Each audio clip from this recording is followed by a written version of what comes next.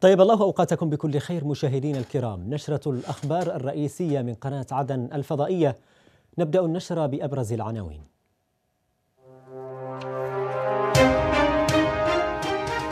رئيس الجمهورية يستقبل كلا من المبعوث الأممي والمبعوث الأمريكي ويؤكد حرصه الدائم نحو السلام وفقا للمرجعيات الثلاث.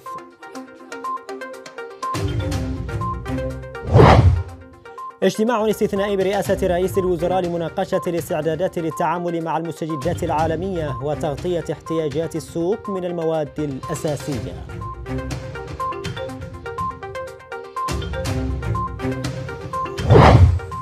بلادنا ترحب بصدور قرار مجلس الأمن الدولي رقم 2624 القاضي بتصنيف الحوثيين جماعة إرهابية وإدراجها في قائمة العقوبات.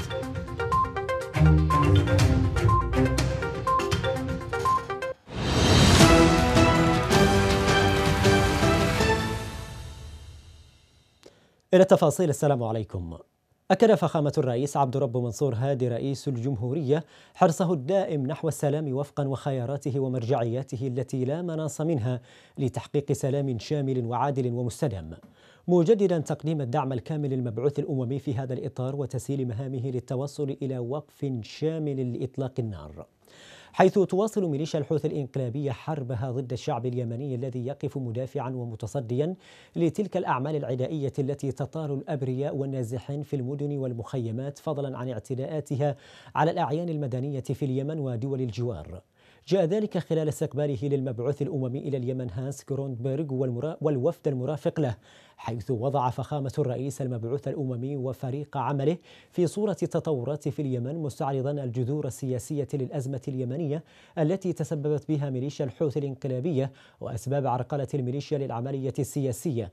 وناقش آفاق الحل السلمي وصولا إلى سلام دائم وعادل في اليمن وفقا والمرجعيات الثلاث التي تعد أساسا لتحقيق سلام عادل وشامل تفضي إلى تحقيق المساواة بين جميع اليمنيين.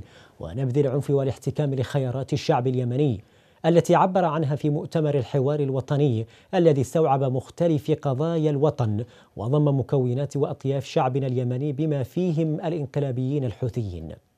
وتطرق فخامة الرئيس للدور الإيراني التخريبي في اليمن وارتباط ميليشيا الحوثي بالأجندة الإيرانية الهادفة لزعزعة أمن واستقرار اليمن والمنطقة مشددا على أهمية وضع حد للتهديدات التي تشكلها ميليشيا الحوثي لأمن البحر الأحمر والملاحة الدولية لافتا إلى اطلاعه على إحاطة المبعوث الأممي الأخيرة في مجلس الأمن الدولي.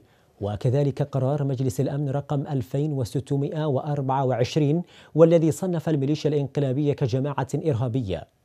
وقال فخامة الرئيس إن السلام هو خيارنا وسنظل كذلك على الدوام. دعاة سلام ووئام باعتباره خيار حياة لشعبنا وللإنسانية جمعا. وفي سبيل ذلك قدمنا العديد من التنازلات حقنا لدماء اليمنيين. من جانبه ثمن المبعوث الأممي الدعم الذي حظي به من قبل فخامة الرئيس وحكومته الشرعية والذي سيكون له الأثر الإيجابي للعمل الصادق والجاد نحو السلام المستدام لافتا إلى جولاته وجهوده خلال الفترة المنصرمة مع مختلف الأطراف اليمنية وغيرها والمبنية على إيجاد أرضية مشتركة واستراتيجية مستدامة في البحث في مختلف القضايا والتطورات المتسارعة. لبلورة أفكار ومسار يمكن الأطراف اليمنية من خلاله التحاور وإيجاد الحلول التي تنبثق من اليمنيين أنفسهم ونستند في ذلك إلى المشاورات السابقة والمرجعيات والقرارات الأممية الأممية ذات الصلة. وقال سنعمل لإيجاد أفضل السبل للمضي قدما في تحقيق السلام وتقييم الجهود السابقة وتحديد ما نجح منها وما لم ينجح والاستماع إلى الجميع لتحقيق تطلعات الشعب اليمني التواق إلى الأمن والسلام والاستقرار وأكد المبعوث الأممي على العمل وفقا لقرارات مجلس الأمن ذات الصلة من خلال مشاورات تفضي إلى تحقيق السلام العادل الذي يستحقه الشعب اليمني. حضر اللقاء مدير مكتب رئاسة الجمهورية الدكتور عبد الله العليمي. إلى ذلك استقبل فخامة الرئيس عبد الرب منصور هادي رئيس الجمهورية المبعوث الأمريكي إلى اليمن تيموثي ليندر كينج والوفد المرافق له. وأشاد فخامة الرئيس بجهود المبعوث الأمريكي الرامية لتحقيق السلام الذي ينشده اليمنيين وقدمنا في سبيله التضحيات والتنازلات لحقن الدماء.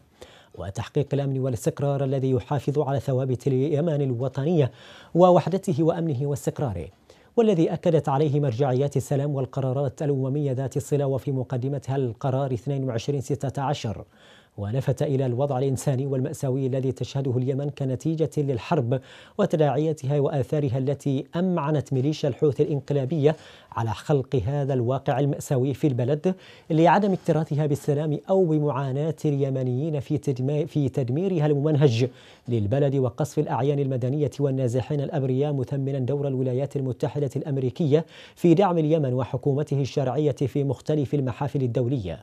داعيا إلى مزيد من الجهود خلال مؤتمر المانحين الخاص باليمن المزمع عقده قريبا وأكد رئيس الجمهورية على عمق العلاقات التي تربط البلدين في ملفات وجوانب شتى منها مكافحة الإرهاب والتهريب وأمن واستقرار ووحدة اليمن وحماية الممرات المائية والملاحة الدولية ومواجهة التدخلات الإيرانية في المنطقة.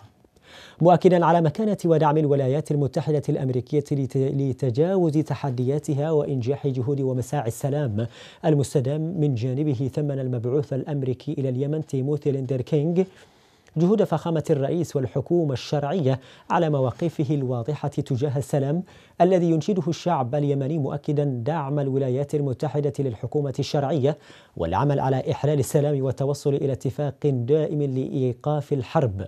من خلال جهود المبعوث الأممي وبالتعاون مع شركائنا بما يحفظ وحدة اليمن وأمنه واستقراره. ودعا جميع الداعمين لتقديم المزيد من الدعم المادي والإغاثي للشعب اليمني لتلبية متطلبات والتزامات الحكومة من خلال مؤتمر المانحين.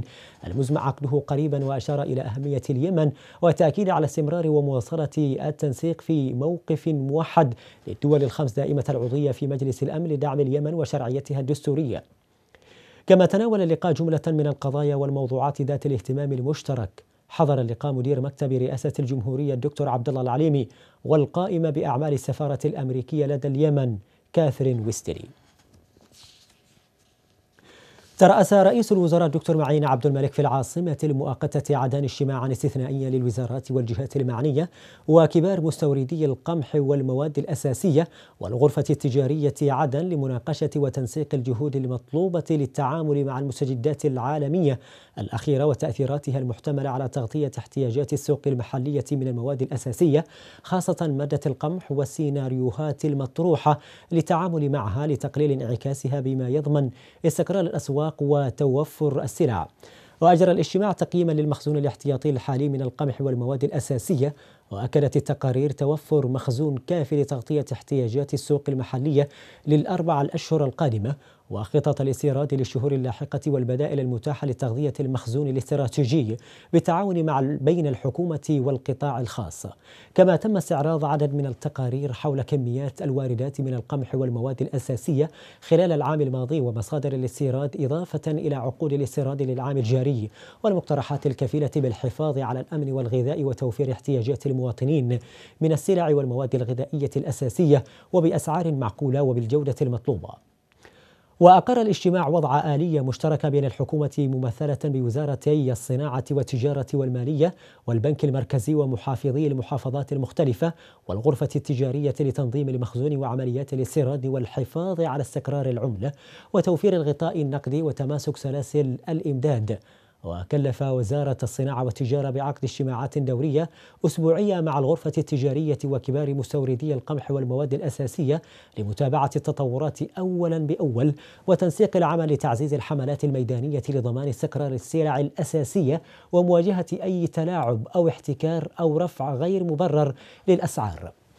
وأكد رئيس الوزراء أن الاجتماع في الاجتماع أن مضمون الأمن الغذائي يحتل أولوية قصوى للحكومة باعتباره إحدى التحديات الرئيسية التي تواجه اليمن وأن ضمان الأمن الغذائي هو العامل الرئيسي للتخفيف من الكارثة الإنسانية الحالية التي تسببت بها ميليشيا الحوثي منذ انقلابها على السلطة الشرعية واشعالها للحرب أواخر العام 2014 موضحا أن الحكومة تتابع تطورات الوضع العالمي باهتمام بالغ وحريصة بالشراكة مع القطاع الخاص الوطني على تنويع بدائل الاستيراد وإيجاد كل الحلول التي تعمل على تحقيق الاستقرار التمويني للسلع الأساسية. وأشار الدكتور معين عبد الملك إلى التسهيلات التي تقدمها الحكومة لدعم واستيراد المواد الغذائية الأساسية ومنها الإعفاءات الجمركية للسلع الأساسية والرسوم التفضيلية الضريبية ونقل الشحن مباشرة إلى الصوامع دون الحاجة إلى دخول الموانئ لافتا إلى استعداد الحكومة لتقديم المزيد من التسهيلات الإضافية لمساعدة القطاع الخاص والإسهام في ضمان وفرة المواد الأساسية واستقرار الأسعار للسلع التموينية. وشدد رئيس الوزراء على الوزارات والجهات الحكومية ذات العلاقة والقطاع الخاص والمستوردين ومضاعفة الجهود والعمل بشكل مشترك لتجاوز التحديات القائمة وتنفيذ المقترحات المطروحة لتحقيق الاستقرار التمويني والسعري. لافتا إلى أن المسؤولية مشتركة ولا يجب التهاون بأي شكل من الأشكال مع قوت المواطنين واتخاذ كل التدابير التي من شأنها ضمان تعزيز المخزون الاستراتيجي من المواد الأساسية خاصة القمح. شارك في الاجتماع وزيرا التخطيط والتعاون الدولي واعد باذيب والصناعة والتجارة محمد الأشول وأمين عام مجلس الوزراء مطيع دماج ونائب وزير المالية هاني وهاب ورئيس مسرحة الجمارك عبد الحكيم القباطي ورئيس جهاز استيعاب تعهدات المانحين أفراح الزوبة ورئيس الغرفة التجارية الصناعية عدن أبو بكر بعبيد وقيادات وزارة الصناعة والجهات ذات العلاقة وكبار مستوردي القمح والمواد الأساسية.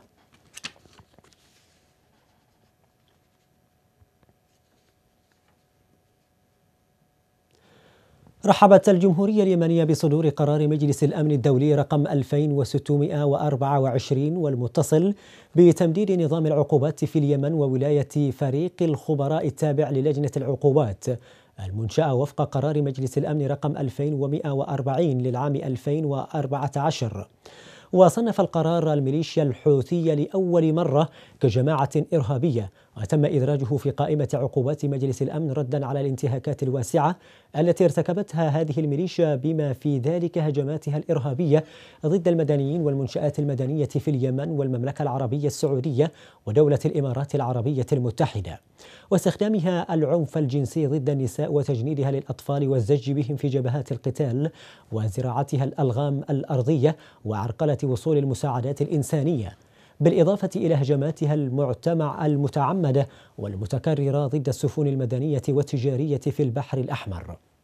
وأشارت الحكومة اليمنية بممارسة مجلس الأمن المزيد من الضغط على الميليشيا الحوثية من خلال إصدار هذا القرار الذي يمثل ترجمة للمواقف السابقة للمجلس في إدانة الهجمات الإرهابية الحوثية حيث يحد هذا القرار من القدرات العسكرية لهذه الجماعة الإرهابية ويعمل على وقف الدعم الإيراني لما بما في ذلك لها بما في ذلك تهريب الأسلحة الذي يؤدي إلى إطالة أمد الحرب ومفاقمة الأزمة الإنسانية. وأشارت الحكومة إلى أن القرار سيعمل على الحد من الانتهاكات الحوثية وتهديدها لأمن وسلامة ممرات الملاحة الدولية في البحر الأحمر وخليج عدن. مؤكدة أن صدور هذا القرار يمثل خطوة إيجابية في سبيل الضغط على الميليشيا الحوثية للتخلي عن خيار الحرب والعودة إلى مسار السلام.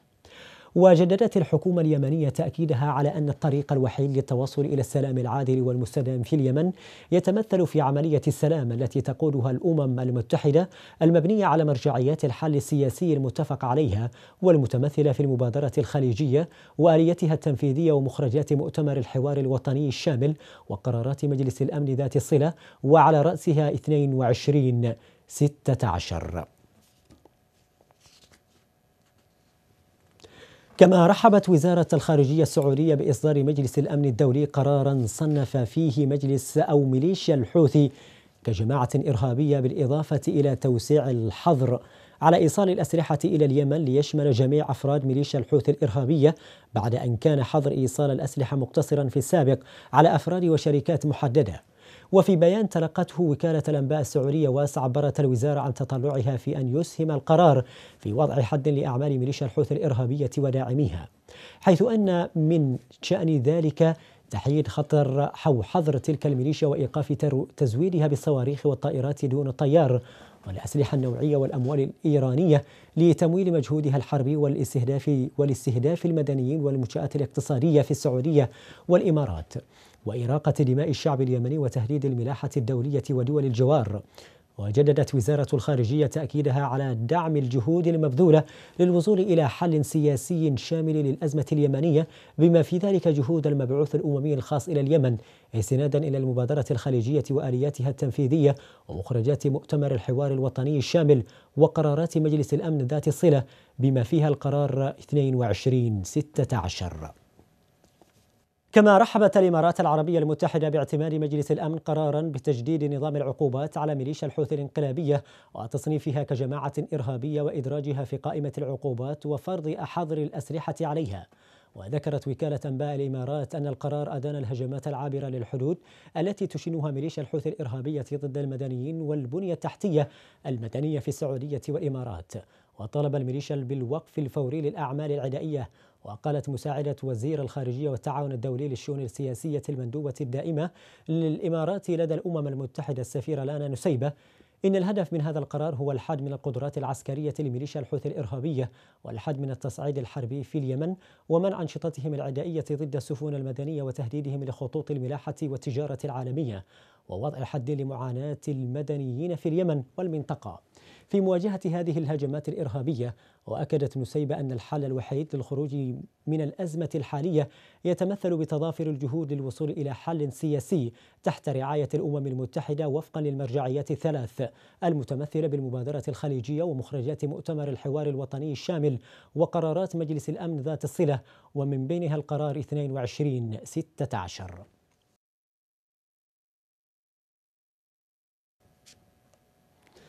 فيما رحبت مملكة البحرين باعتبار مجلس الأمن أو باعتماد مجلس الأمن قرارا بتصنيف ميليشيا الحوثي كجماعة إرهابية وإدراجهم في قائمة العقوبات وفرض حظر الأسلحة عليهم. وذكرت وكالة الأنباء الأنباء البحرينية أن قرار مجلس الأمن يمثل خطوة مهمة من شأنها أن تسهم في الحد من الهجمات العدائية لميليشيا الحوثي الإرهابية التي تشنها على المدنيين والبنية التحتية المدنية في السعودية والإمارات.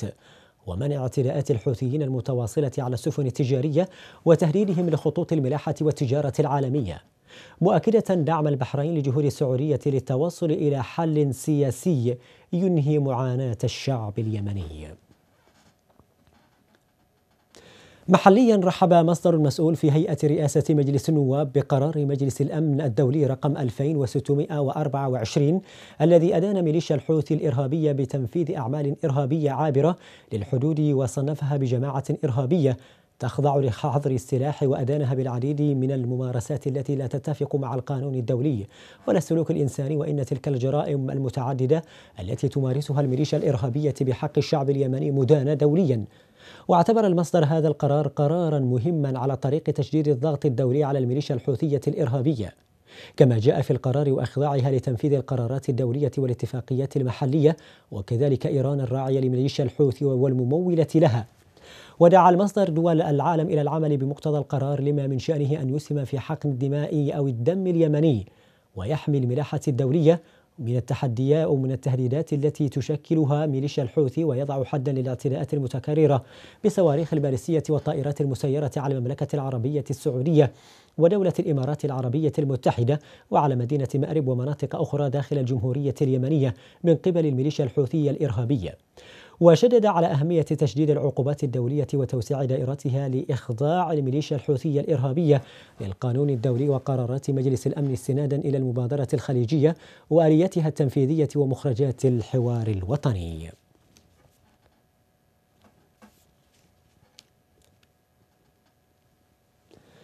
كما رحب مجلس الشورى بصدور قرار مجلس الأمن الدولي رقم 2624 والمتصل بتمديد نظام العقوبات في اليمن وولاية فراق فريق الخبراء التابع للجنة العقوبات المنشأة وفق قرار مجلس الأمن ورقم 2144 للعام 2014 والذي صنف ميليشيا الحوثي جماعة إرهابية وإدراجها في قائمة العقوبات الدولية. وأكد المجلس في بيان تلقت وكالة الأنباء اليمنية سبا نسخة منه أن هذا القرار يأتي بعد ارتكاب الميليشيا الحوثية جرائم حرب حق الشعب اليمني وانقلابها على الدولة والشرعية الدستورية ورفضها كل مبادرات السلام واستمرارها بجرائمها واستهداف المدنيين داخل الأراضي اليمنية وفي أراضي المملكة العربية السعودية والإمارات العربية المتحدة. وأشاد المجلس بهذا القرار مؤكدا على أهمية وضرورة الضغط على النظام الإيراني الذي يمدهم بالأسلحة والمتسبب في معاناة اليمنيين وإطالة الحرب. رحب التحالف الوطني للقوى والأحزاب السياسية اليمنية بقرار مجلس الأمن رقم 2624 تحت البند السابع بشأن تجديد نظام العقوبات في اليمن والذي صنف ميليشيا الحوثي كجماعة إرهابية بالإضافة إلى تمديد ولاية فريق الخبراء التابع للجنة العقوبات المنشأة وفق قرار مجلس الأمن رقم 2624 للعام 2014 كما رحب التحالف الوطني للقوى والأحزاب السياسية في بيان صادر عنه بتوصيف مجلس الأمن الدولي الحوثيين كجماعة إرهابية تهدد الأمن والسلم الدوليين وإدراجها ككيان على قائمة عقوبات اليمن في ظل حظر السلاح على الجماعات المزعزعة للاستقرار وإدانة هجمات ميليشيا الحوثي الإرهابية على المدنيين في اليمن وكذا الهجمات العابرة للحدود على المدنيين والبنية التحتية في السعودية والإمارات مطالبة جماعة الحوثي بالوقف الفوري للأعمال العدائية والمزعزعة للاستقرار. مشيدا بالجهود المبذولة من دولة الإمارات ممثل المجموعة العربية في مجلس الأمن التابع للأمم المتحدة والمملكة وفريق الدبلوماسية العربية في الأمم المتحدة على الجهود المبذولة للتعريف بحقيقة بحقيقة الميليشيا الحوثية الإرهابية وجهودها لإنجاح التصويت على قرار مجلس الأمن. وشدد التحالف الوطني على ضرورة تبني المجتمع الدولي والدول الراعية مزيد من الضغط على ميليشيا الحوثي وراعيها الإقليمي المتمثل بالنظام الإيراني لإيقاف انتهاكاتها الواسعة لحقوق الإنسان. بما في ذلك هجماتها الإرهابية ضد المدنيين والأعيان المدنية في اليمن والعابرة للحدود وإطلاق سراح المختطفين والمخفيين قسريا. وشدد التحالف الوطني على ضرورة مساندة القوى والأحزاب السياسية للحكومة لمضاعفة الجهود واستغلال هذا الزخم الدولي للإسراع في معركة التحرير واستعادة الدولة والتعافي الاقتصادي. وبسط سياسة سيادة القانون وتطبيع الخدمات في المناطق المحررة. عقدت لجنة برلمانية بمدينة مأرب لقاء مع وزير الدفاع الفريق الركن محمد علي المقدشي ورئيس هيئة الأركان العامة الفريق الركن صغير بن عزيز ضمن برنامج زياراتها الميدانية وذلك للوقوف على مجمل الأوضاع الميدانية والقضايا المتعلقة بالجانب العسكري والأمني والإنساني. وأوضح رئيس اللجنة البرلمانية النائب عبد الوهاب معوضة أن زيارة اللجنة تأتي بتكليف من رئيس وأعضاء هيئة رئاسة مجلس النواب بالنزول الميداني للوقوف على سير العمليات العسكرية وتفقد أبطال الجيش وتلمس أوضاعهم واحتياجاتهم والوقوف على جوانب القصور والاختلالات وذلك في إطار دور مجلس النواب وواجباته الدستورية والرقابية وتفعيل عمل المجلس في هذه المرحلة المصيرية.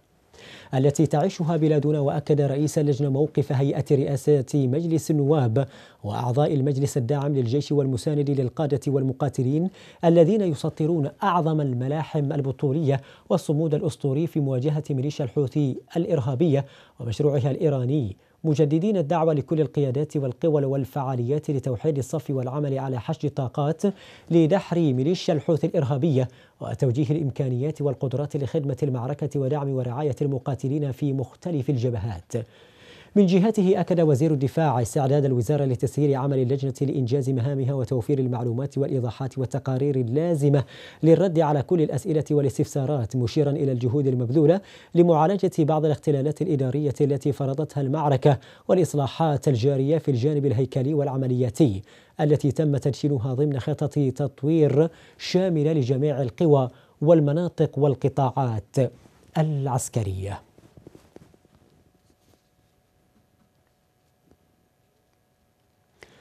دشن وزير الإعلام والثقافة والسياحة معمر الإرياني ومحافظ محافظة المهرة محمد علي ياسر افتتاح مطار الغيض الدولي بعد إعادة تأهيله بتمويل من البرنامج السعودي لتنمية وإعمار اليمن. التفاصيل في سياق التقرير الذي أعده الزميل لبيب محمد علي.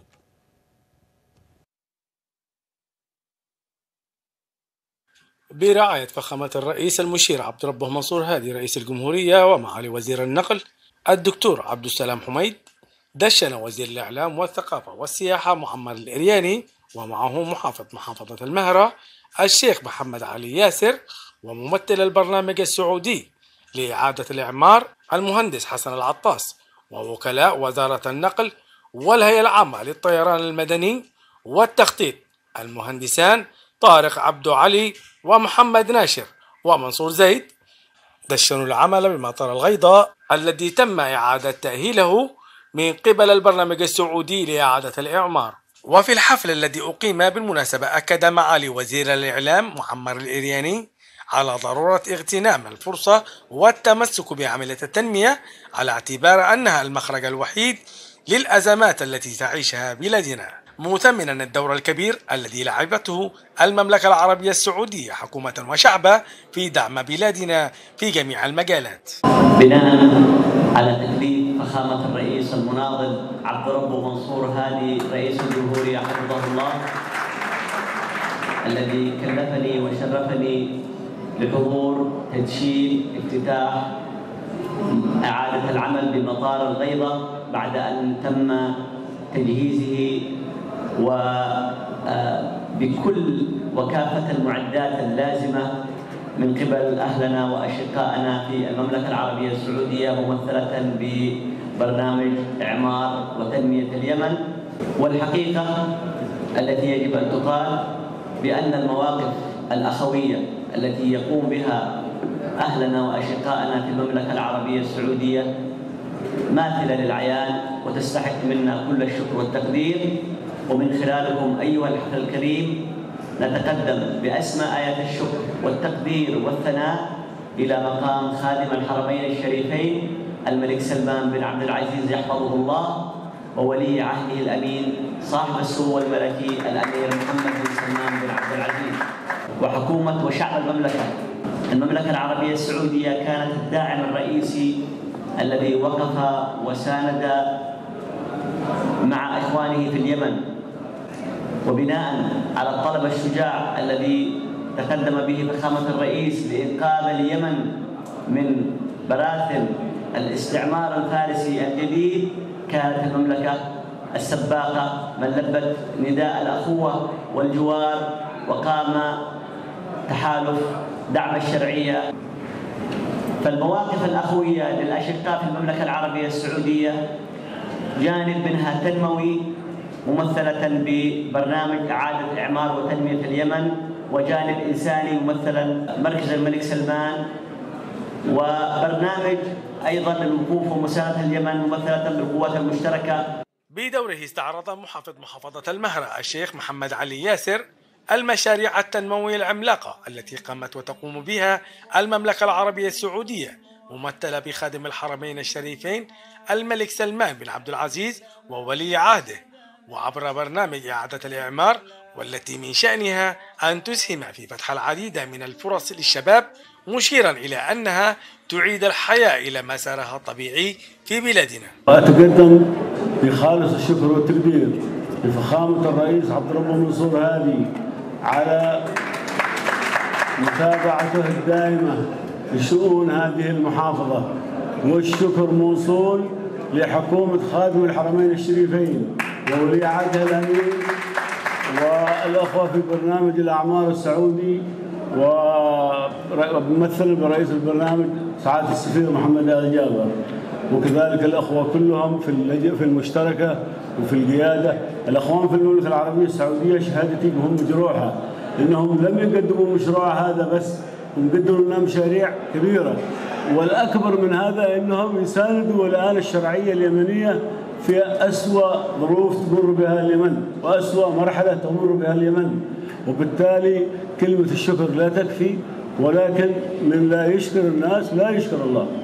بدوره قال ممثل البرنامج السعودي في بلادنا المهندس حسن العطاس أن من شأن هذا المشروع تسهيل الحركة أمام المسافرين وكذا تحسين جودة النقل في بلادنا. يتضمن المشروع إعادة تأهيل مباني ووحدات المطار وتجهيز الملاحة بنظام الأرناف والاتصالات التي تتوافق مع مواصفات منظمة الطيران المدني الدولية. وكذلك يشمل المشروع إعادة تأهيل صالات الانتظار والمغادرة والتفتيش وتجهيزها بكافة المعدات بالإضافة إلى صالة التشريفات وكبار الضيوف. وأيضا عمل البرنامج على إعادة تأهيل المدرج وأبراج المراقبة ووحدة الحرائق والإنقاذ والمياه في المطار إلى جانب توفيره لإضاءة متكاملة لسور المطار. وكيل وزارة النقل نقل في كلمته تحيات وزير النقل وثمن الجهود التي تبذلها الشقيقة السعودية والرامية إلى النهوض بقطاع النقل من خلال تدخلاتها مشيرا إلى الخدمات والمزايا التي يتمتع بها مطار الغيضاء والتي تؤهله ليكون قادرا على استقبال كافة أنواع الطائرات. صراحة بذلوا مجهود كبير وما رأيناه من تأهيل فإن المطار الآن قادر أن يستقبل كافة الطائرات وبإمكانيات آمنة بكل شركات الطيران ومن هنا ندعو لكافة شركات الطيران بأن المطار جاهز مطار قادر أن يستقبل الطائرات وبشكل آمن. في صدد الآن وزارة الصحة على تفعيل آه، عيادة صحية مع مع فريق متكامل لكافة الإجراءات الصحية مستقبلا في حالة استئناف رحلات الطيران. وكان وزير الإعلام والثقافة والسياحة محمد الإرياني ومحافظ المهرة الشيخ محمد علي ياسر ووكلاء وزارة النقل والهيئة العامة للطيران المدني والتخطيط والتعاون الدولي. قد قاموا بجولة في مرافق المطار اطلعوا فيها على التجهيزات الخاصة بالمطار. بتسليم مطار الغيضة اليوم تخطو محافظة المهرة خطوة نحو التنمية. لبيب محمد علي لقناة عدن الفضائية عاصمة المهرة الغيضة وصل وزير الداخلية اللواء الركن إبراهيم علي حيدان إلى الجمهورية التونسية الشقيقة للمشاركة في أعمال الاجتماع التاسع والثلاثين لمجلس وزراء الداخلية العرب. وكان في استقبال وزير الداخلية في مطار قرطاج الدولي بتونس الأمين العام لمجلس وزراء الداخلية العرب الدكتور محمد بن علي كومان. والطاهر بوسعادة مدير ديوان وزير الداخلية التونسية وسامي الهيشري مدير عام الأمن الوطني. وشكر الرياح آمر الحرس الوطني التونسي. وسفير بلادنا لدى جمهورية تونس عبد الناصر بحبيب. ويترأس وزير الداخلية وفد بلادنا برفقة عدد من قيادات وزارة الداخلية في الدورة التاسعة والثلاثين لمجلس وزراء الداخلية العرب والذي يعقد لمناقشة تعزيز التعاون في شتى المجالات الأمنية بين الدول العربية. كما سيتم مناقشة عدد من الاستراتيجيات الأمنية وكان وفد بلادنا قد شارك خلال اليومين الماضيين في اجتماعات اللجنة التحضيرية لانعقاد مجلس وزراء الداخلية العرب في مقر الأمانة العامة للمجلس في جمهورية تونس. جددت الحكومة اليمنية تحذيرها من خطورة التداعيات البيئية والإنسانية الكارثية التي قد تنجم جراء تسرب أو غرق أو انفجار صافر التي الناقلة التي باتت قنبلة موقوتة قد تؤدي إلى أكبر كارثة إنسانية على المستوى العالمي في التاريخ الحديث. مع استمرار رفض ميليشيا الحوثي الإرهابية التعاون مع الجهود الدولية لاحتواء الكارثة. وأكد وزير المياه والبيئة المهندس توفيق الشرجبي في كلمة الجمهورية اليمنية أمام الدورة الخامسة للجمعية العامة للأمم المتحدة للبيئة التي عقدت في العاصمة الكينية نيروبي. أن ما تتعرض له البيئة اليمنية هو تدمير ممنهج وإساءة مستمرة دمرت النظم الإيكولوجية من خلال زرع ميليشيا الحوثي الألغام في البر والبحر وتجريف الأشجار والأحراش والعبث بالمحميات الطبيعية. مجددا على ضرورة تكاتف الجهود من أجل إعادة النظم البيئية إلى مستوياتها الطبيعية وتعافيها ودعا الشرجبي إلى اتخاذ قرارات تخدم العمل البيئي المشترك لمواجهة المخاطر البيئية الناجمة عن الاستخدام المفرط للموارد الطبيعية وتلويث البحر والأرض والهواء وإجهاد النظم الإيكولوجية. والتي تسببت بظواهر طبيعية غير معتادة لافتا إلى تعرض الجمهورية اليمنية خلال الأعوام الأخيرة للعديد من الأعاصير تسببت بخسائر بيئية واقتصادية وبشرية كبيرة في المناطق الجنوبية والشرقية للبلاد وجزيرة سقطرى التي تعد متحفا وطنيا طبيعيا من أهم مواقع التراث الطبيعي العالمي. ناقش مجلس إدارة الهيئة العليا للأدوية والمستلزمات الطبية في اجتماعه برئاسة وزير الصحة العامة والسكان الدكتور قاسم بوحيبح تقرير الخطة السنوية للهيئة العامة أو للهيئة للعام الجاري والموازنة السنوية للعام الجاري 2022 وأكد وزير الصحة على أهمية الدور الرقابي للهيئة في سوق الدواء وتفعيل الدور الإرشادي والتوعوي للهيئة ومركز التيقظ الدوائي فيها ورفع مستوى الوعي المجتمعي تجاه الدواء. ووجه بزيادة النشاط الإعلامي الموجه للمجتمع وتعزيز عمل إدارة الرقابة والتفتيش وتكثيف أدائها وإبرازها إعلاميا والالتزام بشروط الجودة والأسعار وإنشاء نظام معلومات وربط الهيئة بفروعها. من جانبه استعرض مدير الهيئة الدكتور عبد القادر الباكري أنشطة الهيئة وما تم إنجازه خلال العام المنصرم والخطط والبرامج للعام الجاري. فيما أشاد نائب وزير الصناعة الدكتور سالم الوالي بمستوى التنسيق بين الهيئة ووزارة الصناعة في مجالات منح التراخيص وتسجيل الشركات.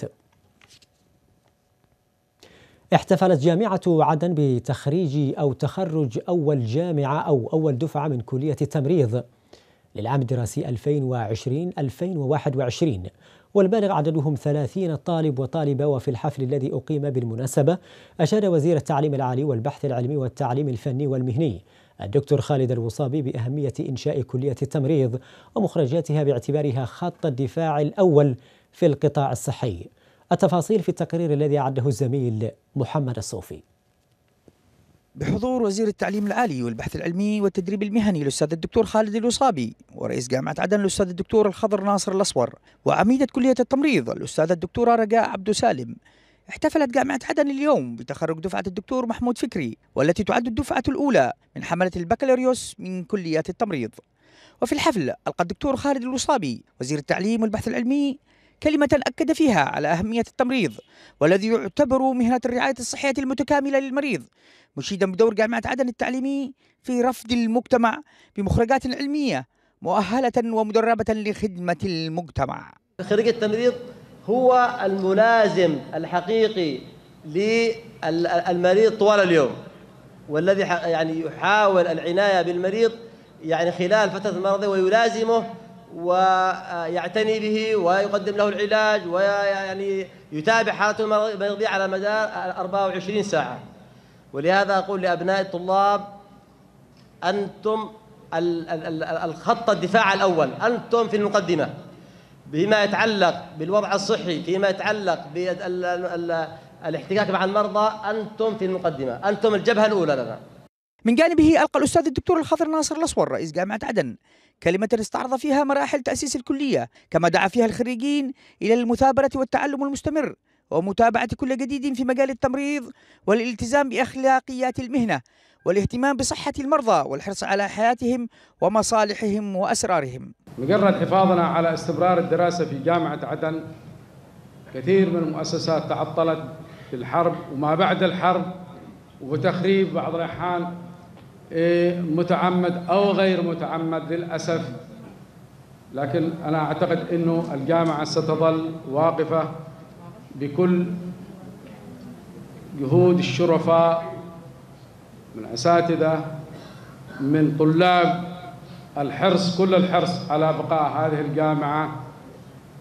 جامعة أكاديمية ترسل رسالات الحب ترسل رسالات الوفاء لهذا الوطن.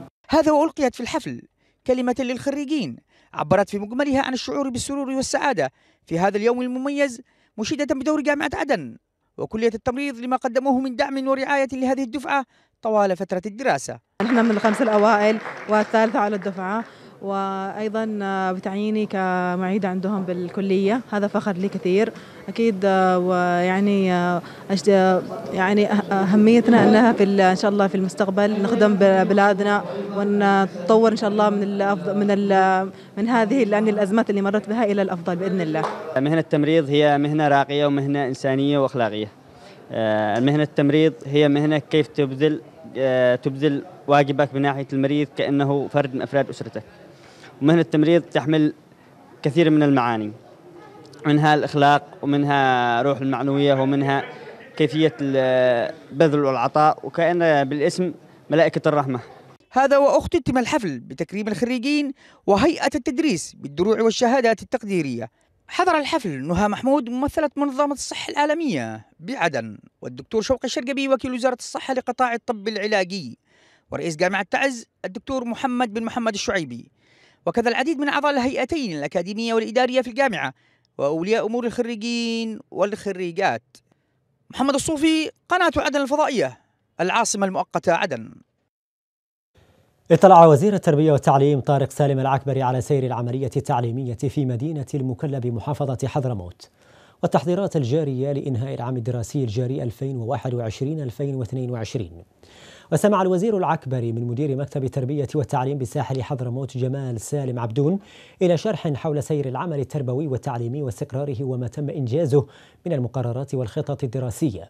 مستعرضا الإجراءات التي اتخذها المكتب للاختبارات ضمن خطة الهيئة التهيئة المبكرة لإنهاء العام الدراسي واختبارات الثانوية العامة مؤكدا على ضرورة استكمال المقررات الدراسية لجميع المراحل التعليمية وإنهاء العام الدراسي وفق الخطة المقرر لها. وتهيئة الأجواء المناسبة للاختبارات في عموم المحافظات مشيدا بالجهود الكبيرة التي تبذلها قيادة مكتب الوزارة بساحل حضرموت في استقرار العملية التربوية والتعليمية. وقع وزير الأوقاف والإرشاد محمد عيضة شبيبة مع جمعية الحكمة اليمنية الخيرية بالعاصمة المؤقتة عدن مذكرة تفاهم تقضي بتسهيل الوزارة عمل الجمعية باعتبارها ممثلا للجمعية الكويتية للإغاثة في تنفيذ مشروع دعم 18 مكتبة عامة في سبع محافظات وهي عدن وتعز وحضرموت والضالع وأبين ولحج ومأرب بأمهات الكتب والمراجع العلمية بتمويل وزارة الأوقاف والشؤون الإسلامية بدولة الكويت الشقيقة وبتكلفة تبلغ 250 ألف ريال سعودي وسيستفيد منه 20 ألف باحث ومطلع ويأتي في إطار حملة الكويت بجانبكم. وضمن المساعي الكويتية للإسهام في تحسين البيئة التعليمية واستمرار التعليم في بلادنا. ناقش اجتماع ضم وزير الكهرباء والطاقة الدكتور أنور كليشات ومحافظ محافظة تعز نبيل شمسان. إجراءات بدء العمل على تنفيذ محطة كهربائية بقدرة 30 ميجاوات بنظام بي أو 2 المعتمدة من قبل الحكومة للمحافظة. كما ناقش الاجتماع جملة الإشكاليات التي تواجه وضع الكهرباء بالمحافظة إلى جانب تحديد أولويات وآلية دراسة واضح واضحة تقدمها منطقة كهرباء تعز بالتنسيق مع المؤسسة العامة تمهيدا لاعتمادها بهدف تشغيل عشرة ميجا من الكهرباء لمدينة المخا في الأخبار الميدانية أعلن تحالف دعم الشرعية في بلادنا عن تدمير 14 آلية عسكرية تابعة للميليشيا الحوثية خلال الساعات الماضية في محافظتي حجة ومأرب. وقال التحالف في بيان إن المقاتلات الحربية نفذت 25 عملية استهداف ضد مواقع وتجمعات تابعة للميليشيا الحوثي في محافظتي حجة ومأرب خلال ال 24 الساعة الماضية. وأضاف أن العملية أسفرت عن تدمير 14 آلية عسكرية فضلا عن خسائر بشرية في صفوف الميليشيا الحوثية. أفادت مصادر عسكرية ميدانية بتواصل المعارك العنيفة في جبهة حرض بمحافظة حجة بين قوات الجيش الوطني مسنودة بطيران التحالف من جهة وميليشيا الحوثي الانقلابية من جهة أخرى وقال وقالت المصادر إن قوات الجيش تصدت لهجوم عنيف. شنته ميليشيا الحوثي الإنقلابية في جبهة حرض بالتزامن مع شن مقاتلات التحالف سلسلة غارات جوية. استهدفت تعزيزات ميليشيا الحوثي شرق مدينة حرض وكبرتها إثر ذلك خسائر كبيرة في الأرواح والعتاد. نفذت قوات الجيش الوطني كمينا استهدف العشرات من عناصر الميليشيا الحوثية بمحافظة الجوف.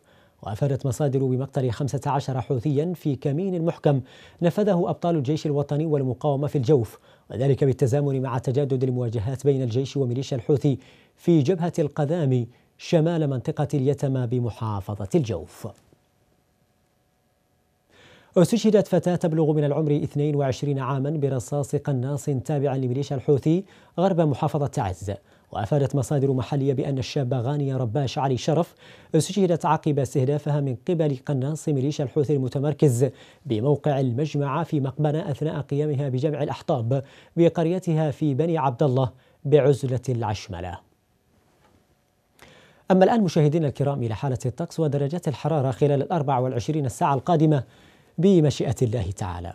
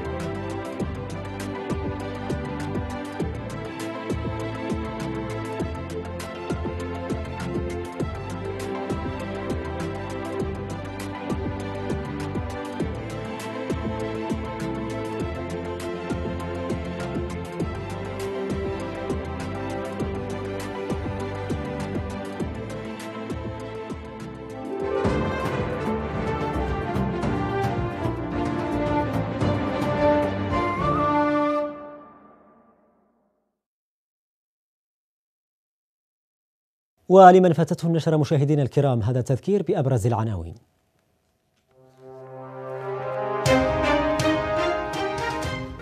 رئيس الجمهورية يستقبل كل من المبعوث الأممي والمبعوث الأمريكي ويؤكد حرصه الدائم نحو السلام وفقا للمرجعيات الثلاث.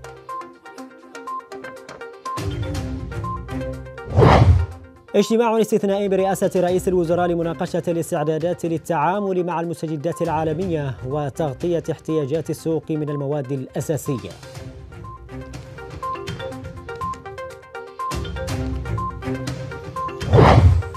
بلادنا ترحب بصدور قرار مجلس الأمن الدولي رقم 2624 القاضي بتصنيف الحوثيين جماعة إرهابية وإدراجها في قائمة العقوبات.